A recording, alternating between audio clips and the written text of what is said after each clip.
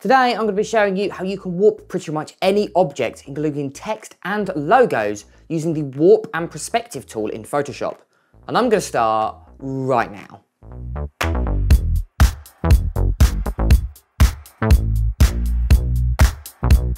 So there are many ways of warping and distorting text and shapes in Photoshop. So what we're gonna do is we're gonna go ahead and open up this sample photo here. And all we've got is simply two layers. We've got our warp layer, and then underneath we've got our background gradient layer. So what we want to do is to warp the text layer first. So what we're gonna do is we're gonna make sure that warp is selected or that text layer is selected. Then we will go up to type and we're gonna go ahead and drop down to warp text.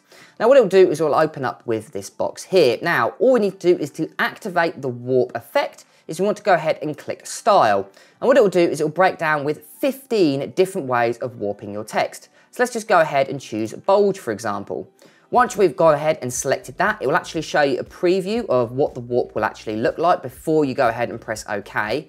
Then it brings up with uh, your horizontal and vertical axis. So for instance, at the moment, we're warping it on its horizontal axis but we can go ahead and warp it on its vertical axis where it's bulging left and right.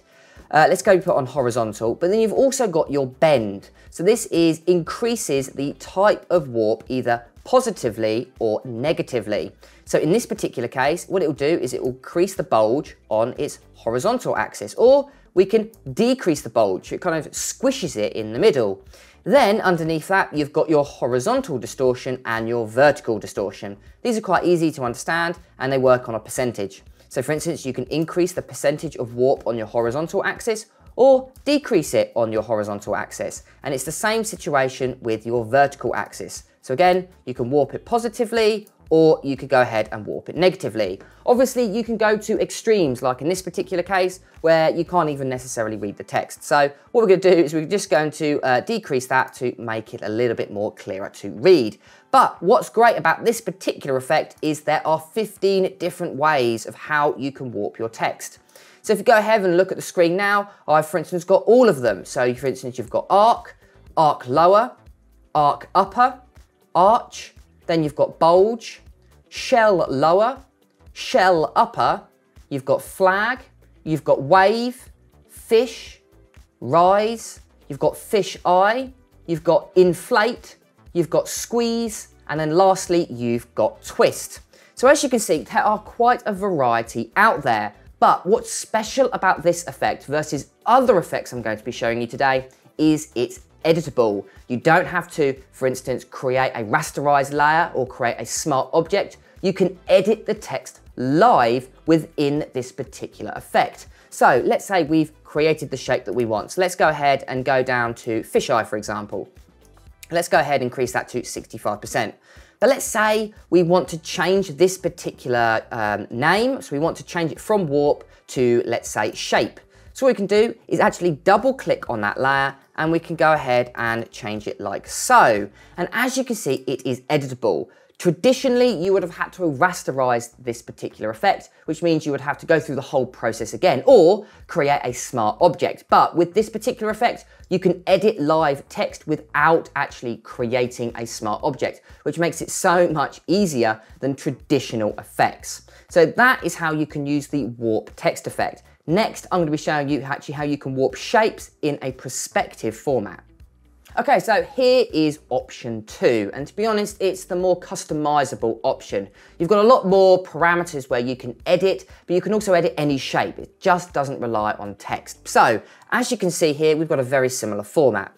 We have got our rectangle shape, which is actually where we're going to warp that uh, text into, and then we've got our text layer. But like I was saying previously, I've had to rasterize this particular layer here to allow us to warp it. So what we've done, make sure we've got our warp or text layer enabled. And what you want to do is right click and you just want to make sure your layer is rasterized. You can't do this to live text. If you want to do it to live text, make sure to follow the previous step that I've just shown you. Then what we're gonna do is we're gonna go up to edit, then we're gonna go down to transform, and you've basically got a variety here. You've got scale, rotate, skew, distort, and perspective. The two we're going to be focusing on are the lastly is distort and perspective. So let's go ahead and click distort first. what it will do is it will bring up these arrows. So what we can do is actually move these arrows and as you can see, we are now changing the perspective and distorting the text into our own shape here. So as you can see, I have now warped that into the shape of our text. And as you can see, it fits really nicely. Now, the only downside to this is it, it once you've clicked OK, it is burned into that layer. The only way to realistically get around this fact is by using a smart object, which is a good way of working within Photoshop. The only real downside, again, is if you ever want to recreate this shape, you're gonna have to either go back into your text document and live, you know, type away and re uh, redo the words, or you're gonna go have save it as a smart object. But as you can see, you could be a lot more customizable. That is the distort tool. What we can do is go back up to edit again, go down to transform, and we're gonna go ahead to perspective. Now perspective is very similar to distort.